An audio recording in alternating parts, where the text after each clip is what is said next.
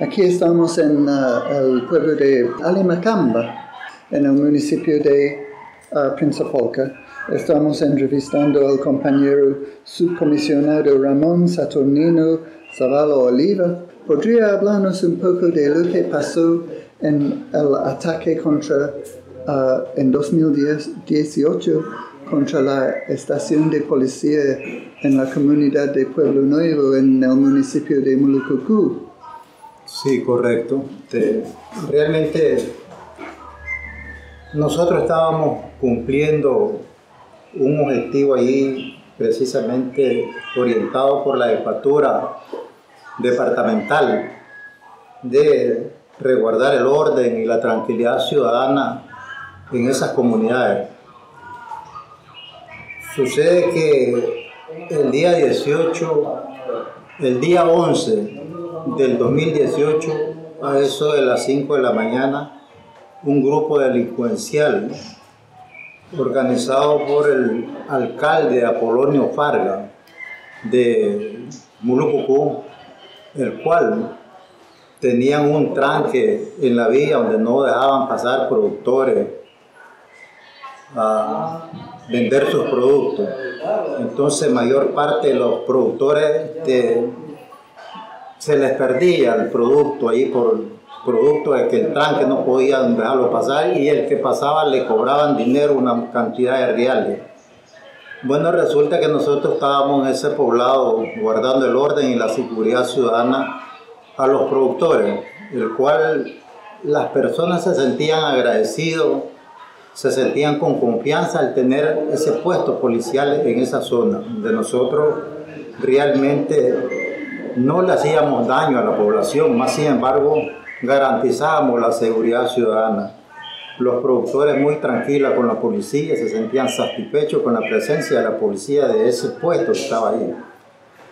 El día 11 de, junio del 2018, a eso de las 5 de la mañana, llegó un grupo delincuencial aproximadamente de unos 18 a 19 elementos armados con armas de guerra, de caserío, y fuimos atacados, fuimos atacados en ese puesto policial, donde realmente allí murió el teniente Ezequiel Sánchez Enrique, el teniente Dixon Enrique Sosa y el teniente Carlos José Zamora Rodríguez, el cual estábamos nosotros garantizando la seguridad en ese puesto. Habíamos un total de cinco compañeros, el cual sobrevivimos del ataque, del del ataque que lo impusieron esos delincuentes, golpistas, terroristas. Sobreviví mi persona, pues. Yo, que era el jefe del puesto, y el subinspector Leonardo Castillo, el cual somos sobrevivientes de ese ataque. Podría decirle que realmente estos elementos decían tener un tranque pacífico en, la vía, pero el cual nosotros nunca esperábamos de que estos elementos se iban a organizar, recogieron todos los delincuentes antisociales para ir a hacer el ataque al puesto policial. En ningún momento se me imaginaba que esta gente, como realmente decían que era un, unos tranques pacíficos, iban a realizar este tipo de acción en contra de la seguridad, en contra de la Policía Nacional principalmente el puesto que estábamos ubicados ahí.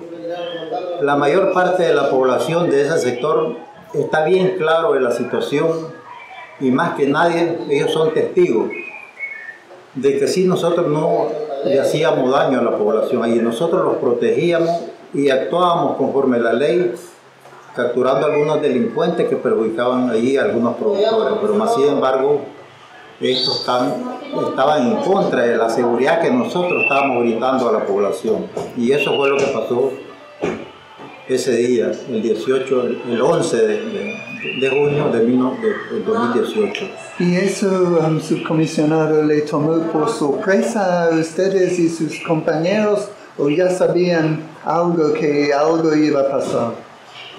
Nosotros manteníamos este, la coordinación con, con las comunidades alrededor, el cual estábamos informado de que allí no había nada. Allí la situación estaba pacífica porque realmente la población, las comunidades no querían estar en ese tipo de actividad que estaban realizando y por lo tanto la gente estaba tranquila alrededor. Nosotros no teníamos ninguna información, los agarraron de sorpresa, porque estos fueron organizados desde el, casco urbano de, de, se organizaron solo para ir a dar el golpe a los compañeros que estábamos ubicados en ese puesto policial.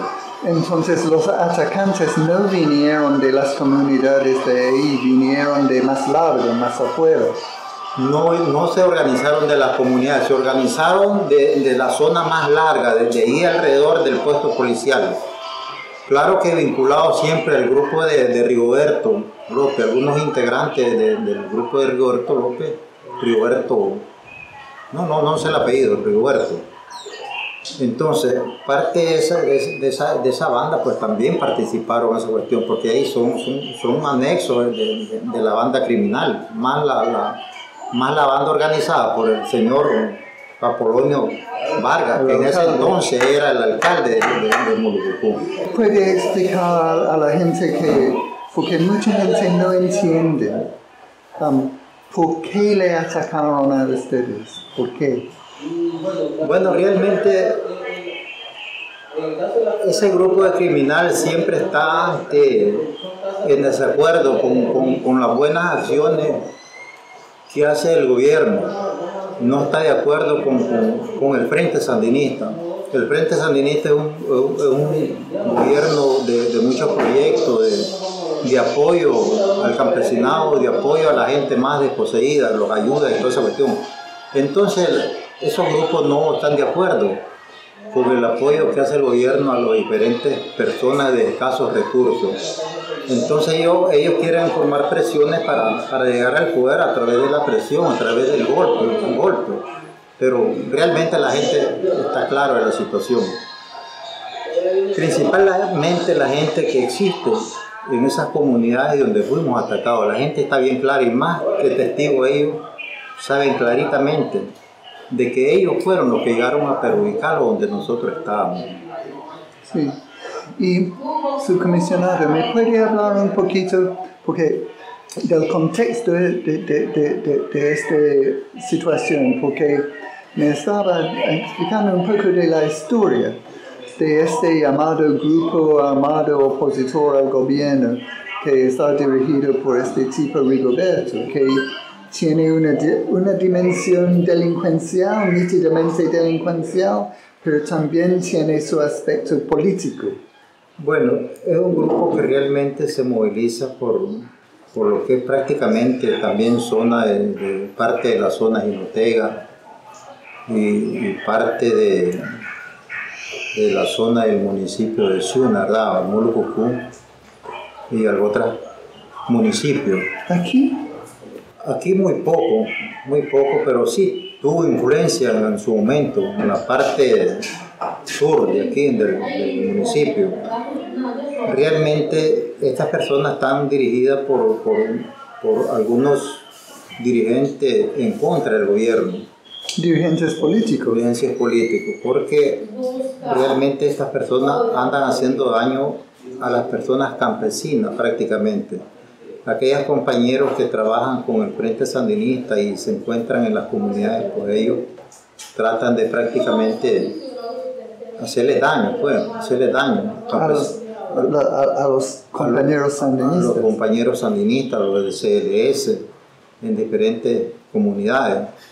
Y eso, pues prácticamente, según ellos, eh, andan haciendo presión al gobierno para, para para darse a conocer con la, con la población sus acciones, sus pechorías y que asimismo el resto de las personas que son afines al Frente Sandinista pues vayan creando temores en las comunidades. Pero realmente son acciones criminales que andan haciendo. Con, eso, con eso no van a ganar gente, sino que lo que andan haciendo es poniendo en contra a la misma, a la misma población campesina, en contra de ellos. ¿Usted piensa, subcomisionado, que hay alguna relación entre estas bandas armadas delincuenciales uh, y las invasiones de tierras indígenas? Bueno, yo pienso que tal vez este, las naciones de tierras indígenas son personas que, que, vienen de otra zona, pues del Pacífico, que allá venden sus propiedades y que posteriormente por, por comprar tierras más favorables se meten a, los territorios indígenas. Y como hay personas que se encargan de, de hacer negocios sucios en cuanto a la situación de tierras indígenas, entonces así compran propiedades, más sabiendo que están, están este, evadiendo la ley 445, ¿verdad? Y de esa manera, pues, yo considero de que, de que no tiene mucha urgencia con, con, esos grupos. Son los grupos delincuenciales. Sí, no tienen mucha influencia, son cuestiones ya muy personales. Sí. en cuanto a las situaciones que compran y, lo, y algunos dirigentes indígenas, porque hay unos dirigentes indígenas que se han encargado ya de hacer ventas sucias, subversivas de las propiedades. Ya la gente está clara de, nuestro proyecto, de, nuestro gobierno, y no creo que la gente se vaya a equivocar. Todo el mundo estamos claros de que el proyecto es apoyar a lo más protegido de las comunidades caso preciso, lo que estamos viendo ahorita en la situación de, de los huracanes que hemos estado trabajando junto con las autoridades civiles, entonces no permitiendo que hayan víctimas en cuanto a la situación de las inundaciones de los ríos. Nosotros hemos tomado la medida pues, junto con las comunidades, o sea, con, con, con las autoridades municipales de evacuar, evacuar toda esa población que está en la libera del río, de Prinzapolca, y tanto río abajo, río arriba. La estamos trayendo a albergues aquí en el casco urbano de las comunidades que están más cerca y las comunidades que están más largas de aquí entonces la estamos reconcentrando en lugares seguros, en albergues seguros, en parte más alta de las comunidades. Y de esa manera no permitir, pues ese es nuestro objetivo, no permitir que tengamos víctimas que lamentar. Y gracias a Dios pues que, que hemos salido bien en el huracán que acaba de pasar. Esperamos que este que estamos, que quiere entrar, pues que salgamos bien también. Esa es nuestra gran lucha. Ojalá que Dios nos permita salir con, con bien.